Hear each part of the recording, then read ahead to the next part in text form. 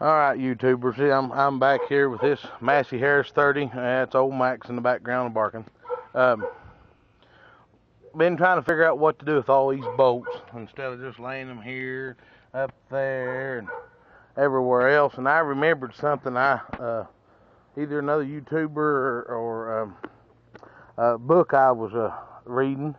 The mechanic talked about using freezer bags taking and writing on writing on the uh, white block there, you know. And so here I took and wrote uh, motor block boats, motor mount boats, I mean, and, uh, and put them out in the big freezer bag.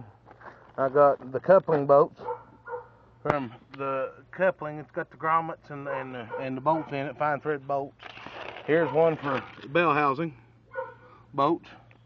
And I'm going to end up having a big freezer bag marked miscellaneous boats. That's just odds and ends stuff that I'm not uh, uh, you know, they're extra. They're not for anything on the new motor.